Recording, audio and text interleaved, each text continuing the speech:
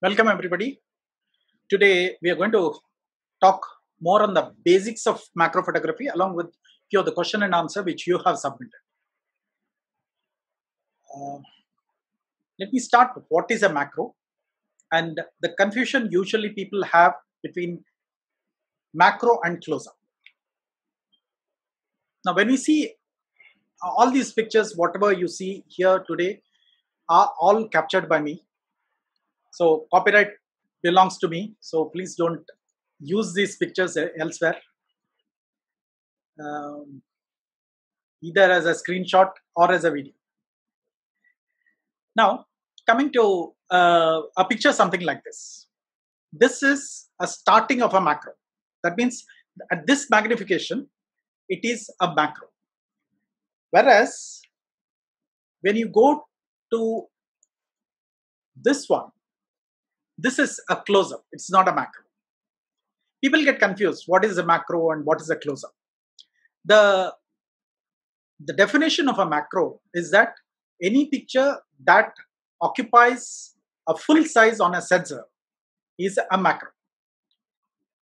Now, camera sensors differ. For example, both these pictures were captured using a cropped sensor, something like a 80D Canon 80D or a D500 in uh, Nikon uh, D7200 and that sort of uh, cameras. So uh, they are all cropped sensors. So sensor sizes really change, differ from one another. For example, a 35 mm sensor has got a 36 into 24 mm size.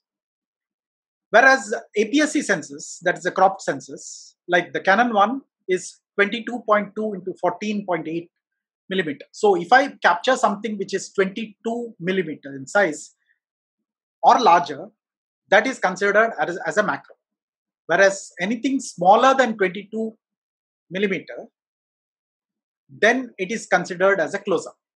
But in lay terms, what people do is they don't bother much about uh, whether it's uh, 1 is to 1, 1 is to 2, 1 is to 2 is to 1.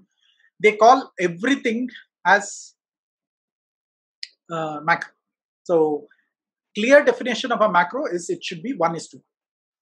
Now, in a smaller sensor, for example, if you are using a mobile phone to capture a photograph, then you can easily get a, a, a magnification.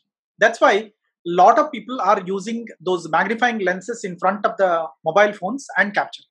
If you are into macro videos, probably mobile phones are better and more useful than uh, DSLRs. While uh, using a full frame camera will give you a better quality of image, but getting the magnification and the depth of field will be a tougher job. The depth of field will I will be covering all those points later. Uh, now let me show you uh, what happens when magnification. This is a ruler and I've used the 80D to capture this. Now you can see that 22 millimeter is the, the size of my sensor. So if I get 44, this is about 44. So 1, 2, 3, 4, 44 millimeters. So 44 millimeters will become 1 is to 2 magnification. So it's a half size of, a macro. It's still not a macro. So let me go closer. So now I'm reaching 1 is to 1.5 magnification. If I go still closer, I occupy something which is 22 millimeters. So this is the area where the macro really starts. Until then, what we were using or seeing are only close-ups. Uh, this is a very scientific, technical uh, way of defining macro. In common terminology, anything which is close-up is considered as macro. Now, the question is, how one of the questions which I asked was should we go for only macro lenses to get macro? How do you get this higher magnification? Uh, can you use a combination of lenses? Can you use something like extension tubes, any other alternatives? So I'll, I'll cover up those technical part first before we delve into you know how do you really capture them? How do you go closer? How do you manage these insets? If you are exclusively specializing on macro, you might as well buy a macro lens. Now, how does macro lens differ? So these are all the macro lenses, what you see, and they are from different companies. On the left hand side, you have Tamron, then you have a Canon, then you have a Sigma, then another Canon. This is 180 mm Canon. This is 100 mm Canon. And most of these lenses are at the range of 90 to 100 mm. You know, Sony has a 90 mm which I use on my full frame uh, Sony cameras. Then uh, Canon, I used to use this 100 mm on my Canon, Canon camera. This is Nikon 105 uh, uh, range, also comes into this same category. Sigma, this is a Sigma lens. Now, uh, this is a specialized macro lens. Now, what this does is this is MPE 65 uh, made by Canon. This starts off at one is to one. You know, I was talking about one is to one earlier. So the the closest range where it can start is one is to one. So this is absolutely no use to take any other photograph. Whereas all these lenses can also be used as a normal lens. Now the difference between normal lens and a macro lens is macro lens is more specialized to give a macro type of that is one is to one type of magnification. Some of them go beyond one is to one like this macro macro lens. There are newer macro lenses which go into similar you know more than one is to one. But all in all when when somebody says macro lens it basically has to give one is to one. But there were few companies earlier who is to market something which is closer as a macro lens. That's a that's a sort of you know fake marketing. It's not really worth it to buy those lenses for macro purposes so if you are exclusively spending money on lenses for macro, you might as well spend on these macro lenses. They can be used as a normal lens also. I'll give you some other set of lenses. That's again Tamron there.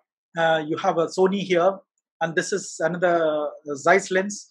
This is a Canon 50mm lens. Uh, there is also uh, so many other close-up lenses. This is Olympus 60mm lens. So all these lenses help you to really go for macro. But if you don't have a macro lens, then you can use other lenses also. See, the difference between macro lens and other lenses is that macro lens allows you to focus much, much closer. Whereas a normal lens will not be able to um, focus, say, less than about two feet or three feet. Whereas a macro lens can go up to about, say, one feet, that's about 12 inches or even less. Some of them go very, very close. For example, this MP 65 is in millimeters. So you have to have a subject somewhere very close by, then only you can take this uh, capture. I'll show you some of the photographs which I have captured using MP 65. Now, uh, when you use other lenses, you can also modify them to become macro lenses. So one of the way of doing that is using what is called the extension tube. So this extension tube is basically a hollow tube. There is no glass here. So they come in different sizes. That's a 25 mm size. Then there, there's 20 mm size. Then 12 mm size. Various sizes. So you can stack one another and make it into nearly about 56 mm uh, larger size.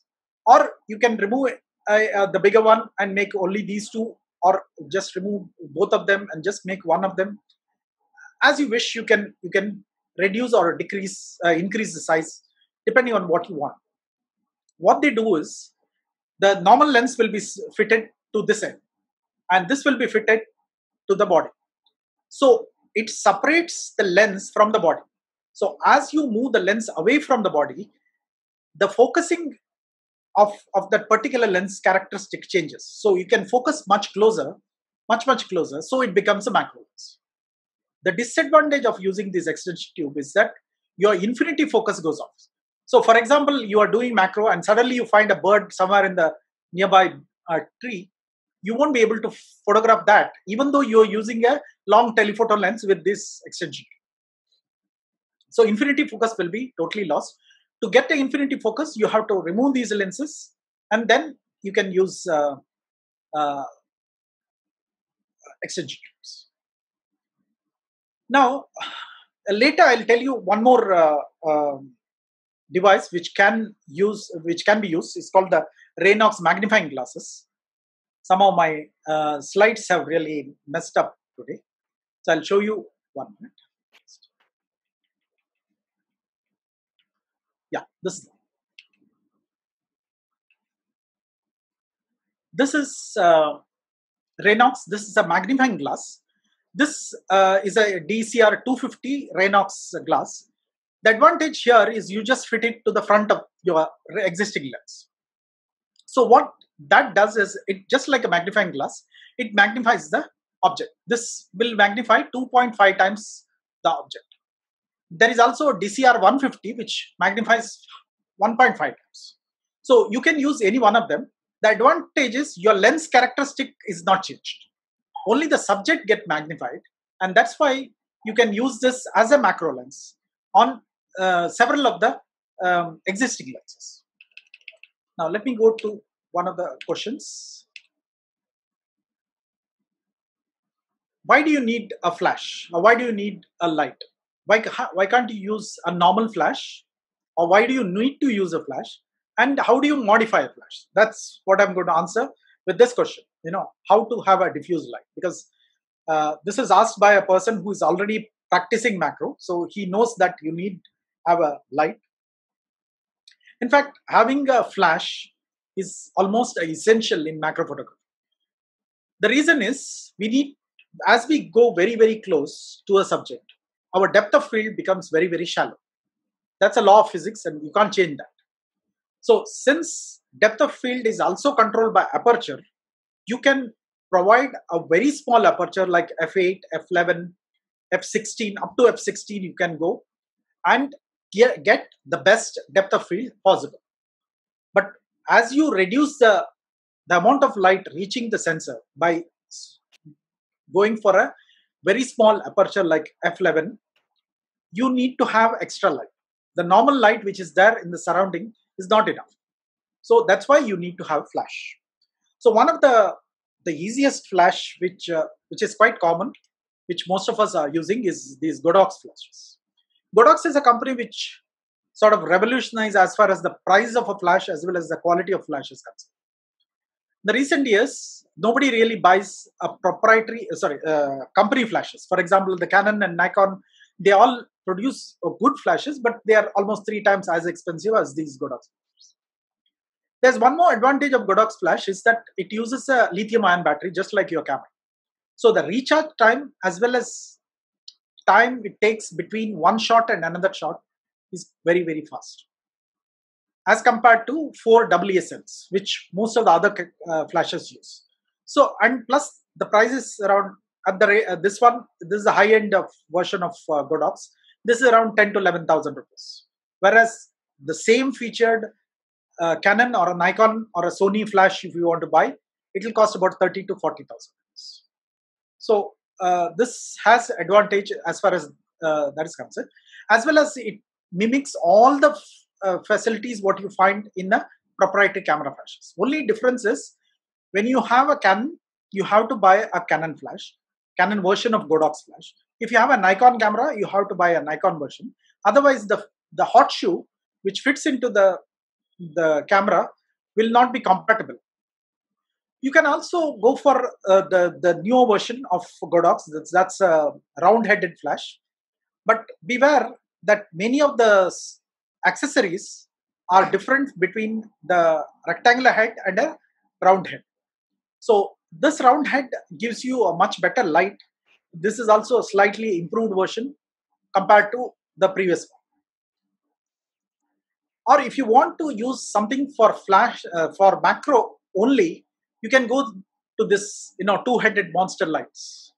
So this is uh, a light which is uh, produced by uh, the company. Uh, yeah, I, am not getting the name.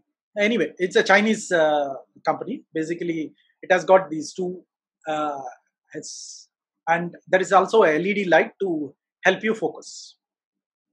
The Canon version is this uh, which I use, MT23 24EX. Uh, quite an expensive flash, but uh, very reliable. Uh, and it has got two heads and works fantastically uh, to give you a overall light which is covered. Now, uh, TCR was the, the older. Coming to flashes. Now, using a direct flash straight away is going to give a very harsh light because you're very close to the insect and that light is unprotected. It just goes blasts on the insect. So you need to have some sort of modifiers. So these are all do-it-yourself modifiers which you can find on the uh, internet. And they, what they do is they diffuse the light so that the amount of light which is falling on the subject is not very very harsh. It's a softer sort of light, something like an evening light or an early morning light, than a mid-noon night light. So that's why uh, uh, you can you can create your own. All you need is some uh, packing food. See, this is basically a plastic food packing um, bowl, which is then covered with styrofoam and uh, you know fixed to the flash. This sort of modifier is available. Uh, this is just a plastic modifier which just covers it. this is not very efficient these are all uh, we did last time uh, in our group. Uh, do it yourself, you can do it. And then there is also a plastic modifiers which are available with the Velcro strip. Pringle boxes, you can convert them into a sort of a L-shaped um, modifiers. You can also use um, you know some some sort of uh, duct tape and uh, modifiers and this is useful especially uh, if you are doing uh, not just macro photography but other type of photography because you can add a polarizing filter neutral density filter on the, on top of the the flash and get different effects if you are into uh, oil drops on the water and that sort of macro photography this will be a fun device to use or if you are inclined in not doing this do it yourself and uh, buy it one of my friend varun is um, has created what's called a beetle. He calls it a beetle uh, diffuser. I've used it recently for my curfew capture series. This was a series when the lockdown started on 22nd, uh, when the curfew was announced, the voluntary curfew was announced. I thought uh, I'll spend about two hours a day capturing macro in my backyard. So uh, uh, my aim was, you know, in 21 days, I'll capture something like 50 insects. Uh, I got more than 80 species of insects in my backyard itself. So, uh, if somebody asks you where to find a macro photography, go to your backyard, backyard and start looking under the leaves. Obviously, you'll find a lot of macro. So this is a beetle uh, modifier. This is quite a, a nice one uh, it's uh, it comes out folded and then you have to have uh, you know just have got a buttons you just press all the buttons. There is also a small um, led light which illuminates that helps you to focus. There is a white uh, diffuser in front which is sort of a concave. So that again helps you. And if you don't want a shadow under the insect you use this particular modifier. You can also remove this modifier and put it on top. If you don't want that you know if you want the shadow because there are users who find that you know having a shadow will give you sort of a subject a place where where it can stand but there are people who think that you know that shadow also has to be eliminated so it depends so if you don't want a shadow you use this if you want a shadow then you use uh, remove this. Uh, you can contact him. He's on Facebook, uh, Varun HB. Now, coming to you have got the camera, you got the lens, you got the flash, you got the diffuser. Now you have to find the insect. Now, once you find the insect, how do you get the plane of focus? Where do you find the plane of focus? How do you focus it? How do you align it? How do you move towards it? how do you focus the insect so this is all looks pretty complicated you know just to explain but in field it is easy once you get get to know how you do it so here is a diagram how to capture remember this diagram is not up to scale i have not found an ant which is as big as a camera just to show you the picture. So how do I focus? Uh, now let's assume that I have a diffuser, which probably is most of the time it's connected to my hot shoe, not standing on the side. I may use tripod, may not use tripod. My usage of tripod is something like this. If the insect is stationary, if it is cooperative, then I use tripod. The advantage of a tripod is that it gives me much more stability.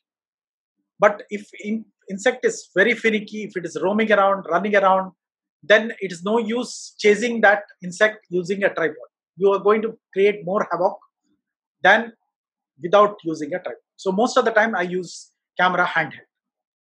So I have a diffuser and a flash which is fitted to the hot shoe of the camera. Now, when I see the insect, I don't use the autofocus mode in the camera. What I do is I put the camera on the manual mode. I switch off the image stabilization. You can call it IS in Canon or VR in uh, Nikon, OIS in uh, Sony, and all those terminology. Just switch it off because when you're going that close and trying to hold your camera still, the camera inside starts thinking that you know there is a vibration and it will start um, compensating it even though there is no vibration. So you don't need um, image stabilization for macro photography. So think about this.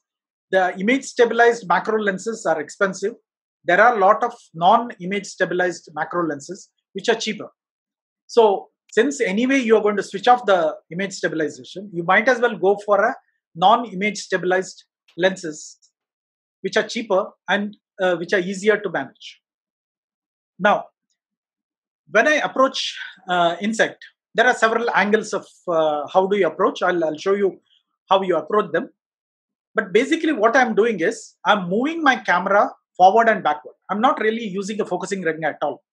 So I have fixed my focus to a point and then I move camera forward and backward so that the subject comes into focus. So when the subject comes into focus, especially the eye of the subject comes into focus, then I click. And this is how the image will look. So this is a very shallow depth of field image where only the eye of the ant is in focus. Now, when the eye of the ant is in focus, you can see the hind legs are out of focus, the forelegs are out of focus, just the eye, just a little bit of the antenna is in focus. Now, this is a shallow depth of field, what you get. When you go extremely close and this close, okay? So, this is good if you just want to show the eye of the insect. This is fantastic when it comes to spiders because jumping spiders have got a beautiful eyes and they look at the camera, they look at you and they give you a particular look which looks very, very fascinating. So, when you try to show a subject with just the eyes, then this sort of angle looks very good. Most people go for this angle. It's the same in same uh, and so I moved it, moved myself sideways. I didn't change the depth of field. So what I got is a shallow depth of field, but whole ant is covered. Now compare the previous picture and this picture. So what do you see?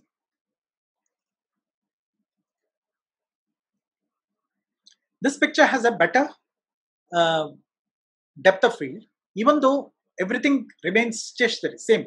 The aperture is same, shutter speed is same. Usually the shutter speed I keep is 160th of a second. Aperture, it varies depending on uh, the insect subject and subject distance. Uh, usually it is, uh, you know, uh, f8 to f60. Now, next comes this angle.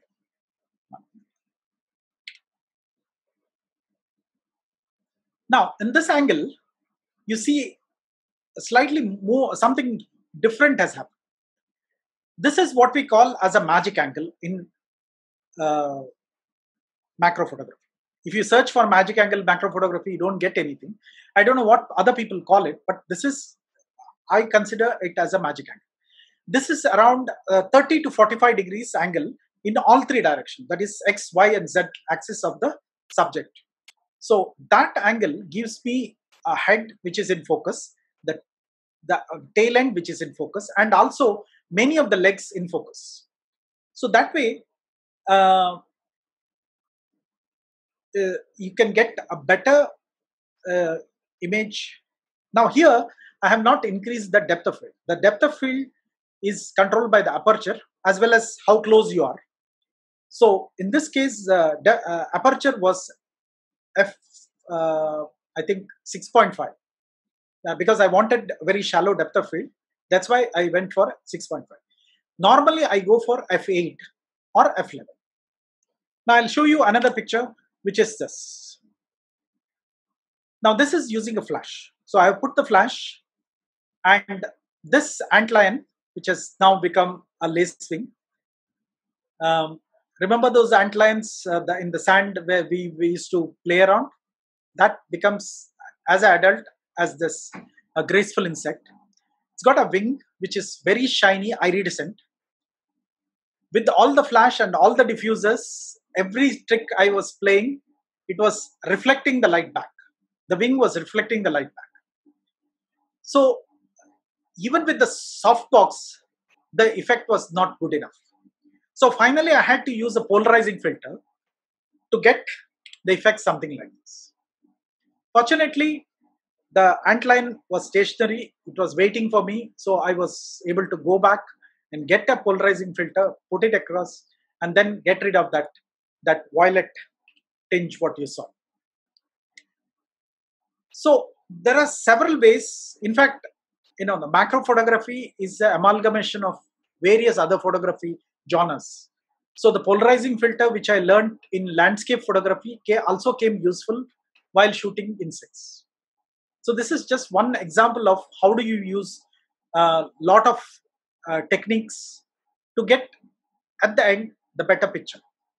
So for me, that uh, you know, most of these uh, are right at the camera.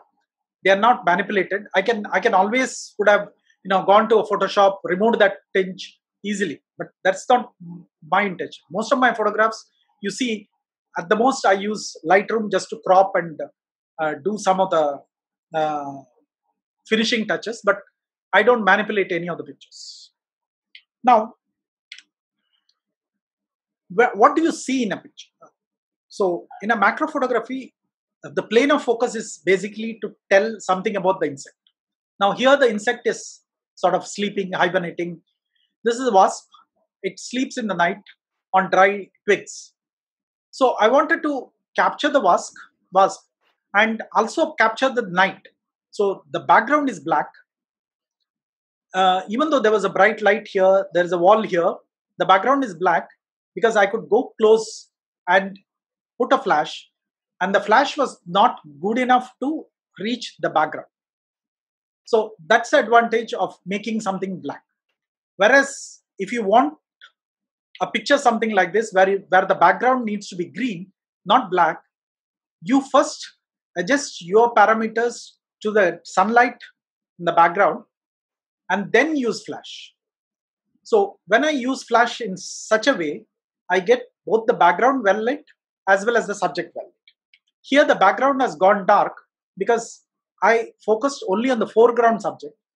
So in the advanced classes, probably I'll explain you how to do both these things, but that's how you really look for the subject and then uh, express the subject in the way you want it to be expressed. Now, you don't have to show the whole subject in a macro photography, even a very small area really makes a lot of difference. This is a caterpillar. I could have shown the whole caterpillar, but I just wanted to show only the head of the caterpillar and the leaf behind it. So that is basically how you want to show the subject. So that is your idea of you know presenting the the subject. You need not go through the standard way that I'm going to show a caterpillar, whole caterpillar from head to toe and all the surrounding allow uh, that is up to you if you want to show you can show you can also show something upside down like like this uh, spider which was very curious about my uh, my photography and came and gave a pose and if you see in its eyes you can see twin lights these twin, light, twin lights are basically the the MT24EX flashlight which are basically twin lights, and they are, they are being shown in the eye as, as a twin. Uh, remember, on internet there are a lot of pictures of insects with water drops on top. Many a times they are pet insects where they put a water drop using a dropper and then take a shoot. But if you really go into the rainy season and try to capture them in, in their web, so this jumping spider had a drop of water on top of it and it was, you know, wishing me with the, these drops which were there. Just rain, it just rained in the morning and then we had a, a waterfall workshop in a place called Mala and this was a capture and in the forest. Always, when you capture a subject, it's better to capture with something it's doing. So that way, you are telling another story. It's not just about the insect; it is also about the what it is doing. So here, I can see uh, this damselfly is eating another insect, and with that, I could capture. And this is that same magic angle I was talking about, which got me a, a very good capture and also you can go for you know this is not a macro lens i was using a non macro lens on a fuji camera to capture this uh, mosquito on natural light this is using a natural light I, I didn't use a flash so there was a sunlight which was falling on the leaf and the mosquito was sitting so this is the maximum distance i could go to capture it i couldn't go closer than that Whereas if I had a macro lens, I can do this. I can go this close and capture the mosquito. And most of us don't go that close and look at the mosquito's uh, color. It has got an iridescent blue color. So the flash really enhances it. So I didn't remove that blue, but I just wanted to show you that, that blue color. And some of the spiders are beautiful in, in a, totally different way. So you can go extremely close to them and uh, do a capture.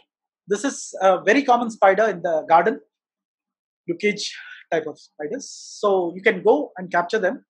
It builds a nest late evening, so you have to go after sunset just to hunt for these uh, beautiful spiders. This is a literary uh, nymph. It's a plant hopper nymph. nymph. I found it on a leaf.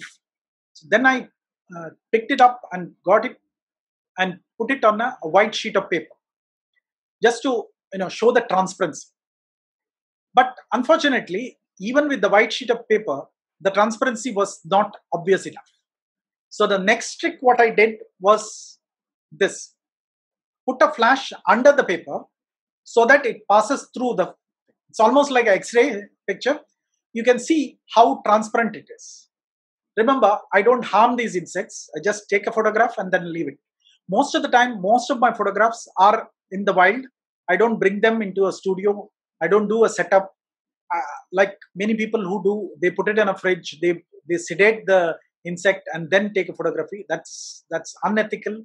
That should not be done. You can do it uh, sort of a studio in the wild itself. Put some flashes, put some uh, studio lights. You can create environment around that so this is one situation. After this, I, I, left it back in the wild in the same leaf where it was uh, living. There is another trick to avoid having, you know, shallow depth of field. For example, this fly, I was capturing, uh, the depth of field was not enough. Like I couldn't get the hind wings correctly. So uh, there is a trick called focus stacking. So I'll show you the image. This is the first image this is where I was focusing. Point of focus is here. So the second picture, the point of focus is here. And the third picture, the point of focus is somewhere at the back. Sorry, uh, this next picture, the point of focus is in the back. So when you combine all of all three of them, then you get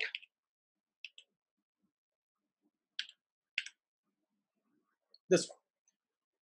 So there are softwares which uh, Photoshop is one of them, and Zer, uh, Zerene Stacker is another one, which allows you to stack these images together and make it into a one single image.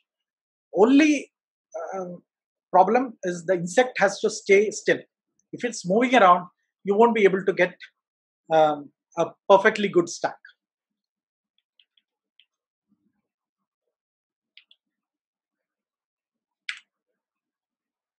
So this is unstacked picture.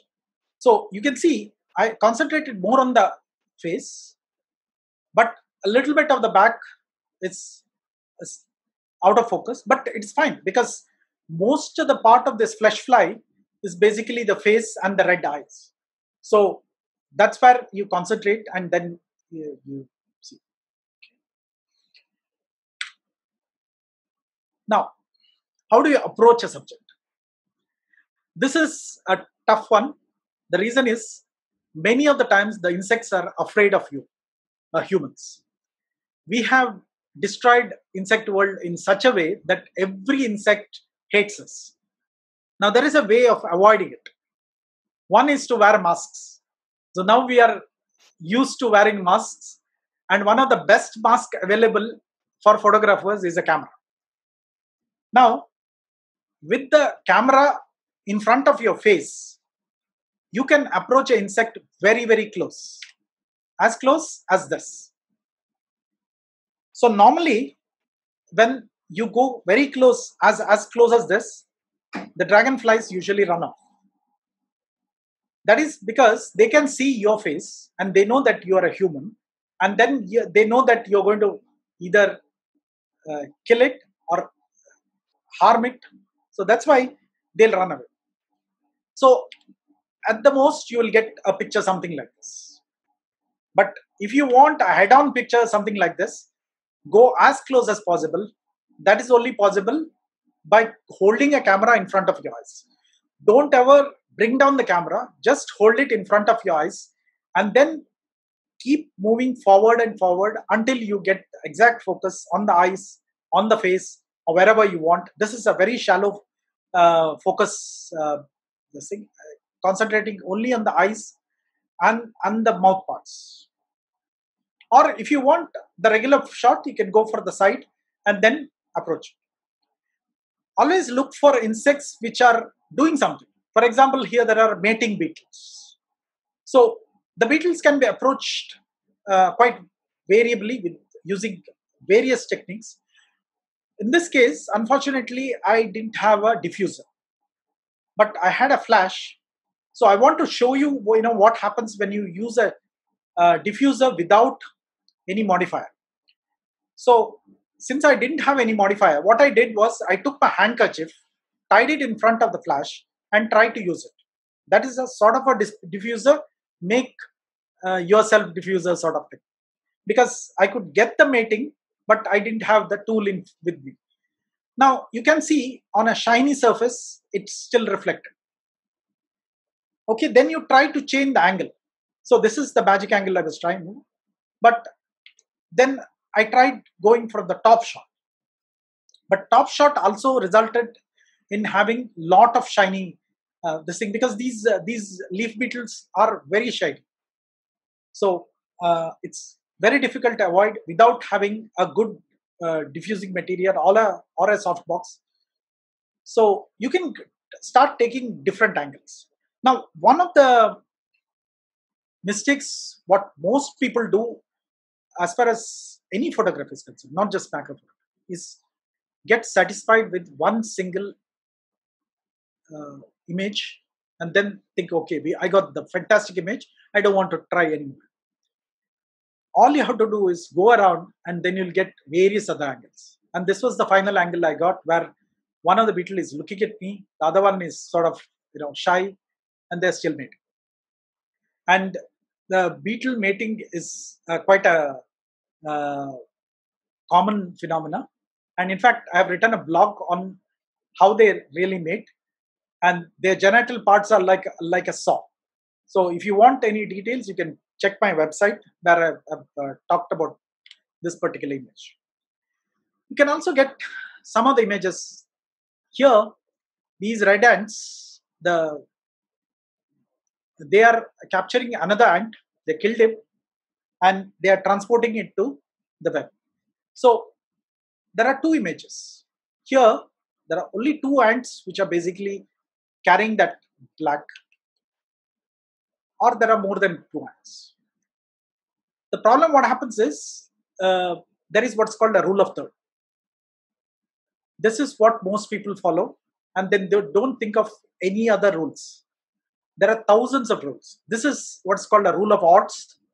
If there are four subjects, then usually people lose interest. If it is three, people have better interest. So I just concentrated on two red ants carrying one black ant. That that will be a better picture compared to the, the previous one. So you have to think of compositional values, you have to think of angle of light. Here the angle of light is coming from this angle. It's not coming from the camera side. So that's why it gives you that particular look. What I was doing is I had a trigger on my camera and I was holding my flash as well as uh, the diffuser on my left hand uh, and directing the light as I want. So that's how I captured this. Now I was showing you that extremely magnified, magnifiable lens called uh, MPE65. This is a capture using that MPE65. What you are seeing here is are aphids. They are very, very tiny, small aphids, and they are being attacked by ladybug larvae. So uh, these um, insects here, and there, there you are. The ladybug larvae are attacking and uh, feeding on these aphids. So the aphids are basically, you know, they suck sap out of uh, plants, and uh, they are quite harmful for the plant. So these ladybug larvae uh, basically uh, kill those uh, aphids and then feed on them. So this this is extreme close. Now, you may be thinking that I need to invest so much. I need to get all those uh, lenses to come with you know good macro setup. Think initially I told you about close up and macro. So you need not go for the macro as such. Macro is a separate genre itself, and most of the time you you need to be spending quite a lot on on these lenses and other equipment. But if you don't have uh, macro lenses, still you need to have some ideas. You can stick with close-ups, look through patterns, look through uh, various uh, things which nature provides us. This was a series which I wanted to have the leaf pattern as well as ant. Now here the light is from the other side. So the, I have used the flash. I've put the flash on the back of the leaf. So the light is passing through the leaf and the ant is on this side. But what you are getting as an ant is just a silhouette of ant. You can't see details of ant, but only a black structure of ant. So check few of the photographs. I'll just pass them pretty fast. This is a series of photographs showing ants as well as leaf patterns.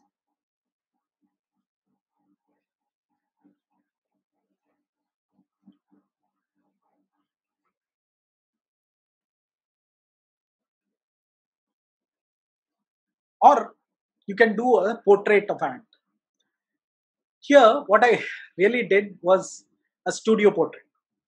I put a 90 centimeter softbox and a AD200 lens near a track of these weaver and uh, who are going up. So as they were passing, I was taking photographs. So uh, it's it's a trial and error. You can't really focus because they'll be running across this particular line. The only advantage is they they had no space to go away. So each time they passed, I was getting one picture at a time. So this is what I called as a portrait of an ant. There are several of them. I'm not going to bore you with that. Just showed you one one picture just to show you uh, how we can use a large softbox and a studio light to make a portrait of an ant. Or if you're patient enough, you can go and capture something like this. A capture of a spider capturing a mosquito. So this is what this question really begs to answer. So how we can compose to get an interesting photograph when the bugs are moving so much? I agree, bugs do move so much, but they have a purpose on their movement. So either they'll be feeding on something, they are going hunting something. So once you understand that particular bug and learn the life history of that particular bug, you can anticipate what they do.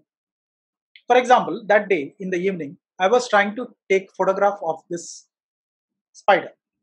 And at that same time, when I was shooting this, I was getting bitten by mosquitoes. So invariably, I was thinking one of the mosquito might really go and fall into the web of this particular Tetragnatha. So I waited there and soon enough, I saw a mosquito falling into the nest. And immediately the spider came. So I captured the mosquito as it was falling in the nest, uh, net, web. And then the spider came and started pouncing on that, bit the mosquito, and then started building a nest, uh, building a spider web around it. So it creates a cocoon around the spider web. And that's a cocoon which is being created.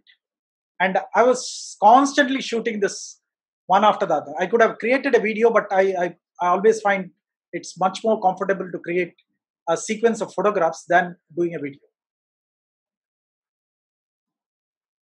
And there it is, finally. So this is next shot. So that was the final uh, moment. The mosquito was then sucked in by the spider. Then I had to leave. I also got quite a lot of mosquito bites, but this mosquito kill was really worth that, that price. You can also get, uh, you know, if you start chasing ants or spiders, you will get uh, to see these fantastic images of, you know, one ant trying to kill another ant, trying to take it uh, to feed the nest. This is a spider where there was uh, sort of a history that you know it used to kill few people uh, using its bite. It's it's called the toilet seat spider. Uh, it was way back, much before internet started. People used to send some emails of this fake story that you know this is an Indian spider which came to US and uh, in America it's hiding in one of the airports uh, toilet seats and it's killing people people believed and they started destroying toilet seats in those airports. So that is probably one of the first such fake news which uh, spread around. So this spider, a Simonia spider, I wanted to photograph as though it is sitting in a toilet seat. Now I can't carry this spider and put it in a toilet seat. So I was looking for a moment where I could get a spider sitting next to a leaf which looked like a toilet seat. So um, this is the series which I created, and uh, you can see that. Again, you can see, if you see the eyes of the spider, you can see twin lights. Those are the the twin lights what I used to capture. This is a thorn mimic tree hopper. It's got a thorn-like structure on the head. So uh, when the birds who try to you know capture that come to find this particular insect, they think that it's a thorn and they just leave it. This sucks uh, sap out of the plant. So this is called a thorn. In fact, from this angle, you can see only one of one of the thorns. It's in fact it's two thorns, thorn-like structures on the head. It's just a sort of a mimic to save its own life. Next question was uh, any tips of the time of the day? Or a year on when one can get specific type of bugs. I mean, I recently observed a butterfly uh, out in the morning and afternoon, but not in the evening. All these insects have got their own routine, their own timing of the day. Most of them are early morning or late evening. If you are a late riser or an early sleeper, you will miss this fun at all. For a macro photography, you sleep in the afternoon, wake up early morning, or wait till late late night because morning and evenings are the best time where these insects will sit and wait for the sun to rise because their body heat mechanism requires some amount of energy from the sun so when it's really cold they are sluggish so you can easily capture them using um, in early morning or late evening. Having said that, many of the dragonflies are more active in the afternoon. So depending on the insects, the spiders are more active in the night. So depending on the insects you are looking for, start studying their behavioral pattern. And with that, you can get uh, to find out where they exist, where they are uh, going to stay, and how you can capture them. Now, for example, I was showing you weaver ants. Okay, there is a spider which mimics that weaver ant, and this is that spider. So this is an ant mimic spider, and it also has a, a fantastic looking back end, but looks like a joker. So something like this. So you can capture that ant mimic spider in a manner how you normally capture any of the spiders, or you wait for the the ant mimic spider to move around. So you sit in one place, let the insects start moving around, and then capture various moods and styles of that particular insect. So here are a few of them I just captured. So,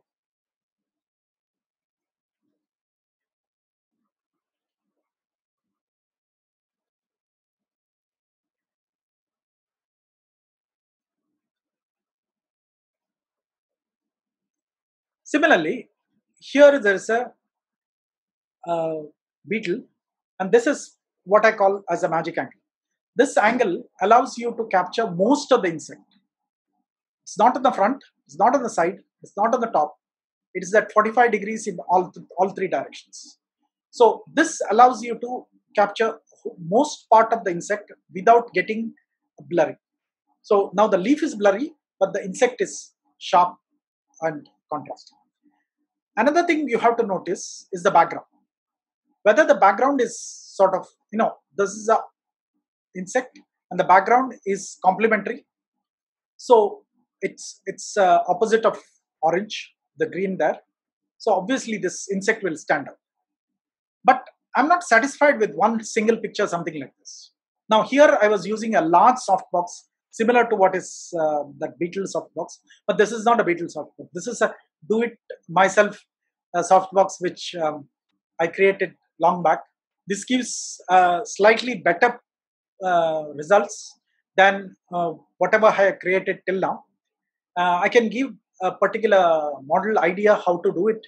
Many of my friends have already created them. So this gives uh, fantastic results. You can see the light which is just skimming across and very soft.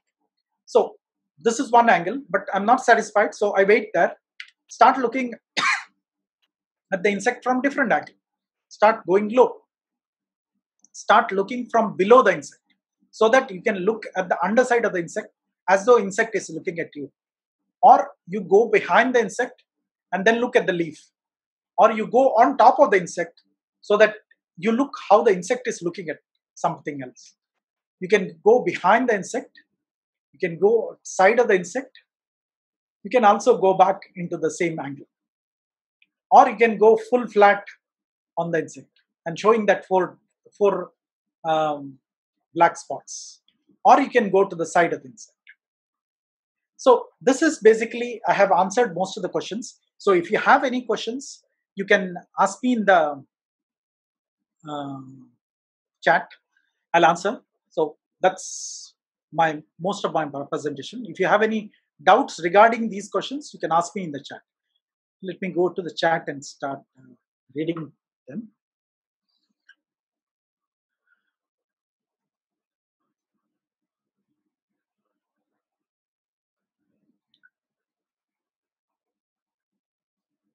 Okay, I think I have answered what is macro. If you go magnification higher than 1 is to 1, then only it's called a real macro. But in layman term, anything close up and macro is both called a macro. Does a beetle diffuser fold flat so that it can be carried in a bag? Yes, it, it flow. Uh, it's like almost like a file. It will flow, fold up, so you can carry it. Only thing is, it's about uh, 15 inches, so you have to carry it in a suitcase uh, it may be difficult to carry in a camera bag. Uh, but it can be folded slightly and put it in a camera. No, not a problem.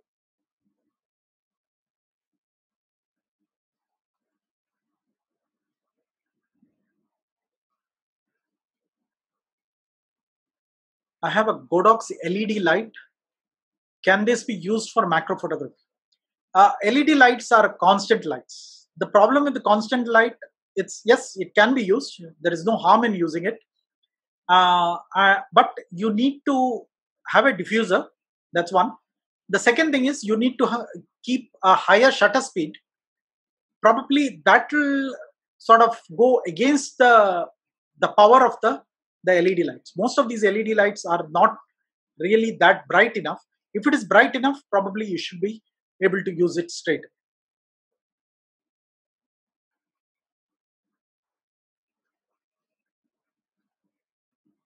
Are focus stacked images accepted in photo contest? If it is a photo contest which says that you know you can't edit them, no, they won't.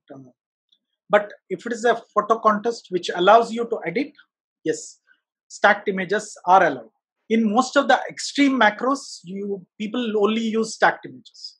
And stacking, there is a st stacking uh, software as well as stacking machine, which allows you to stack hundreds of photographs together.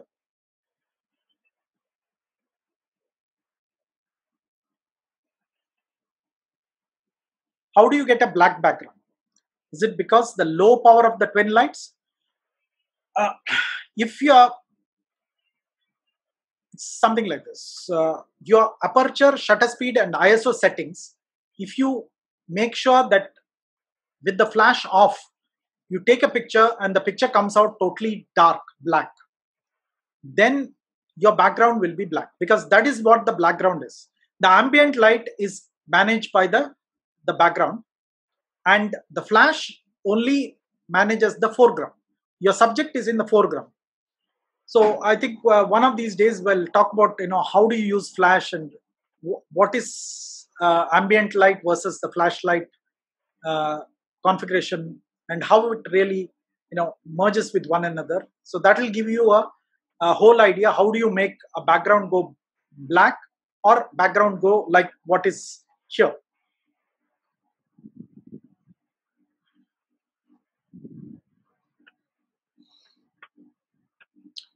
Okay, Senthil is asking what's the best aperture to shooting macro. There is no such thing as a best aperture.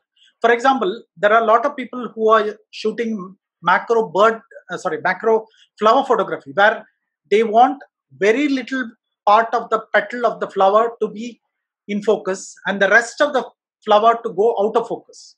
They'll be using like f2.8. For them, that, that works because only a very small area of the flower needs to be in focus Whereas if you are shooting an insect, something like this, you need to have uh, something close to say f8, f11. You can go up to about 14 aperture. So there is no single aperture which is good enough. So if you want a deeper depth of field, go for a smaller aperture. If you want a shallower depth of field, go for a, a wider aperture. That depends on how close you are. So if you are far away, then the aperture really changes uh, the depth of field. If you are close by, again the aperture and depth of field, both of them change. So depth of field is basically on, on how much of subject to camera distance is there plus aperture. These two parameters are part of depth of field. So that depth of field is the one which gives you this particular uh, idea of what to use. There is no hard and fast rule that you have to use something like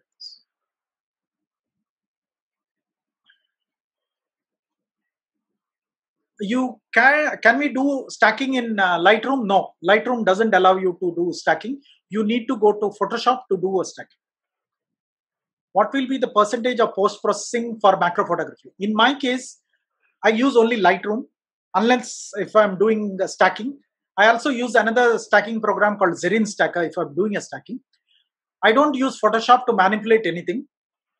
And 99% uh, of my work is in lightroom itself 1% of work, you know, there may be some spots which I want to remove, or somewhere if the light uh, light is really causing too much of harshness, I want to reduce that. Probably at that time, I may go to uh, Photoshop, but uh, recently for last two to three years, I'm using only Lightroom for most of my work.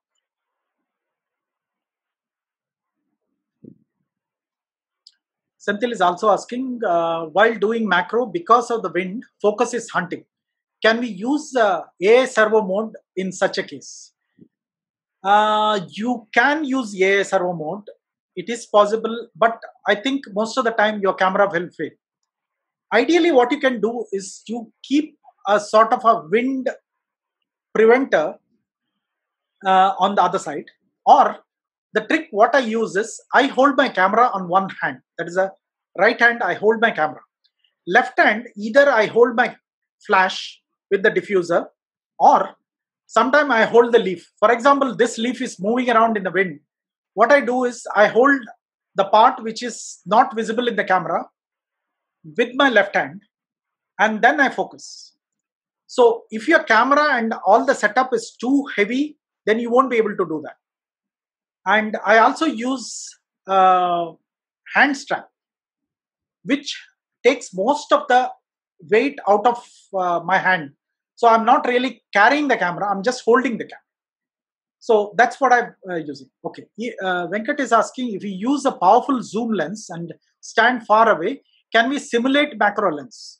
Even if uh, partially yes, you can catch photos of insects without them moving away from us when standing close yes it is possible but you won't be able to get macro level because most of these uh, uh, zoom lenses take 100 400 lens. Say either canon or a sony 100 400 lens allows you 1 is to 4 magnification not closer than that.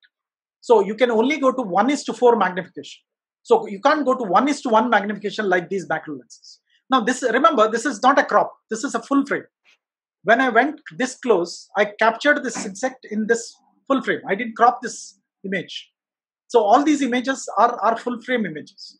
They might have been very little crop somewhere, but it's very marginal crop. So this sort of close-up is not possible in any one of the uh, zoom lenses. But using extension tube, you will be able to uh, use extension tubes, stay far away, not as far away as a normal zoom lens, but you should be able to get as close as this. Uh, you can probably get uh, 1 is to 2 magnification, that is half size magnification, using uh, uh, zoom lenses with the extension.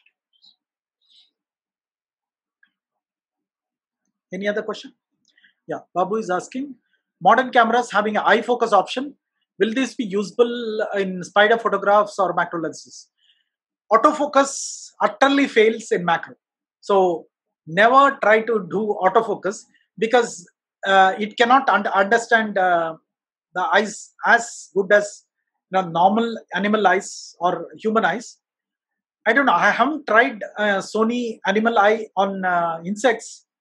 Uh, I'll try it on and see. But my uh, idea of a macro photography is not using autofocus at all.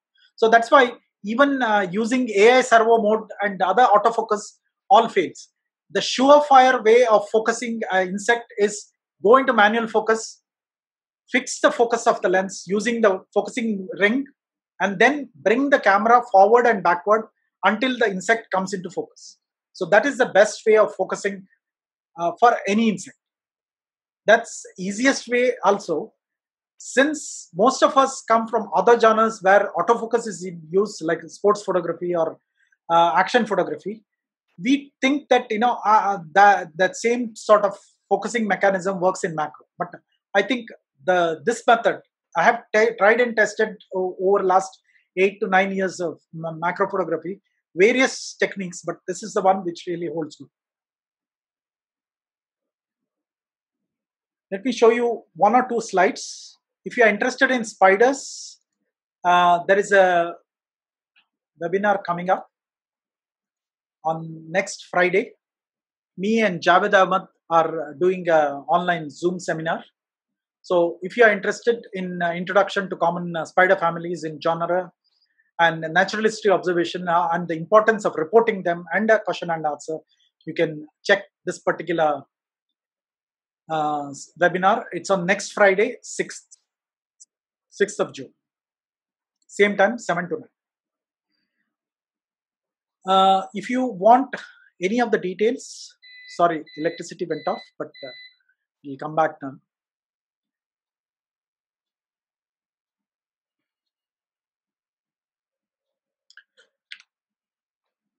So if you uh, want to know more about these, uh, whatever slides which I've shown, they're all there in my blog, drkrishi.com. So you can check uh, my blog for detailed versions of each one of them there I have given how I captured them, what are the settings, all the EXIF information is available. All you have to do is just click on the, the image, it will pop up and at the bottom you see the EXIF information. So if you want to know what aperture I used, what shutter speed, what camera, what lenses, what flash I used, everything is there. And my, uh, my website also has a lot of information about macros. So if you are interested, just please go through this website, drkrishi.com. I've been blogging almost every week since 2006, mostly on animals and uh, wildlife, and lot on macros. Uh, when we are using manual focus, we need to adjust the diopter which is not so accurate. Uh, I didn't get it. What diopter are you talking about? Most of the time, we you go for the closest focus in the focusing ring. So let's assume that you know your closest focus is about a one feet distance. So you put your camera to the closest focus and then go forward and back, backward. Uh, I don't think it's a, a diopter uh, really makes that much of a difference. Diopter is basically used for the viewfinder. That's where the diopter is. I think you are confusing diopter with something else. So you mentioned switching off the IS. Yes, yes, Shajin. Switching off the IS is the most important part. One of the reason why you get a shaky macro photographs is because of the IS. It is counteracting with what you're doing. I also have an old Nikon 28-105D lens, which uh, gives a switch for the macro mode from a normal mode. Yes, it is effective. So when you switch on to a macro mode, it allows you to go closer. It is not the true macro, but it allows you to go much, much closer. It will give you probably 1 is to 2. I'm not very sure, but uh, probably 1 is to 2 magnification. So, which is not possible in a normal mode. 24 to 70 mm f4 lens in Canon and 28 to 105 D lens in Nikon. These both allow you to go for the macro mode. Shikant is asking when we are using manual focus, we need to adjust the diopter which is not so accurate. I'm not, uh, I think he's repeating that particular question.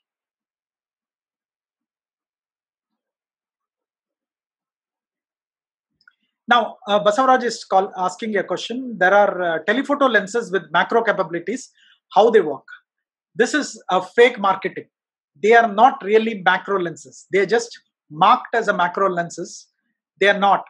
There was uh, a really uh, fashion in the early days with any of the lens which had quite a close focus. Close focus in the sense, one meter, one meter sort of uh, closer focus calling that particular lens macro lens. Recent years, that particular trend has gone off. Now uh, they are not asking that particular uh, question. Can we use a live mode for macro? Yes, live view is another uh, big boon in uh, recent days, especially if you have a tiltable uh, screen, something like 80D, 90D, uh, can where where you can tilt and keep it at, at a particular angle as you are going low.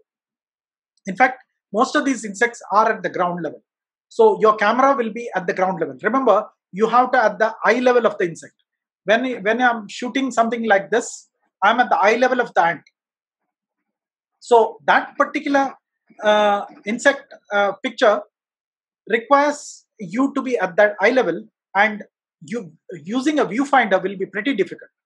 Initially, I used to use um, a sort of adapter for the viewfinder, which allowed me to see something like a periscope. I still have that. I don't use it now. But uh, if anybody wants uh, to use it on a Canon um, cameras, I can I can uh, give it to you. Uh, since I'm using Sony now, Sony and Olympus, so uh, it's of no use for me. I still keep it with me. Doctor, you also would would like to highlight on people yes, right fit. angle viewfinder. Yes, I have a right angle viewfinder. Yes. Okay, uh, uh, Shikant, I didn't get your question. Can you can you repeat Yeah, it? I mean, for uh, macro, one of the most uh, more important aspect is being fit and fine because when you when you are down at that angle and waiting for the ant for minutes together you really have to be fit and fine yes that gives me that but i exercise what i need. So i usually put a mat underneath uh, my body. Uh, if i'm if i'm uh, lying down for a long time. Usual yoga mat what you get in uh, in any of the malls are fine. That will help you not getting wet from the ground. Also it will avoid uh, having a sore knee. Because the if you uh, squat for a very long time on a hard soil and wait for this. I mean most of uh, my macro sessions last about uh, half an hour to one and a half hours per insect. So that's why it's uh, i spend quite a lot of time to capture the insect in, a, in the perfect way i want it. So that's why uh, you know you have to be fit. You have to have you know less of a tummy which i still have. Sometimes it works as a cushion. Um, and then uh, you have to be fit so it gives you a motivation to be fit plus it also helps you uh, in this apart from shooting for passion love and hobby can we go into the commercial area unfortunately not many people really want to buy an ant or a spider picture to hang on their wall. But macro photography also has a lot of other genres which are built into it. Smoke photography is one of them. Oil uh, on water photography is another. Product photography with extreme macro, for example, watch components. Uh, all those things are part of macro photography. So uh, you will be able to use that particular option to really get exactly what you want. Vinod is asking, yes, need to be fit and fit. Uh, lots of practice to hold breath, minimum 10 seconds. Oh, 10 seconds. I, I, I hold breath nearly 30 seconds to get that capture. That time you will be holding breath because even breathing slightly will cause a hand to shake, and with that, your macro will go for a toss. And this I realized, especially after I shifted to my Sony a7R4. This is a 60 megapixel monster. So what happens here is even a microscopic shake will be visible in the picture. Initially, first 20 days of after purchasing that particular camera, all I was getting was a blurry picture. Despite my, my experience with so many years of practice, I was thinking, you know, there is something wrong with the camera itself, and uh, I had to give it back. But then I realized my technique has to improve along with the the number of pixels which are there in the camera. So more pixels you have, more trouble you have. So you can blow up this picture, uh, you know, into a, a huge stadium-sized uh, picture uh, photo, photo at the end while you're printing, but you have to have proper technique, and that technique comes with practice, lot of exercise, lot of patience, and that keeps you quite healthy as well as uh, you know uh, the the happiness what you get after a session of a macro photography is uh, so interesting. It's you know it's difficult to express. Thank you i think uh, we'll call it a day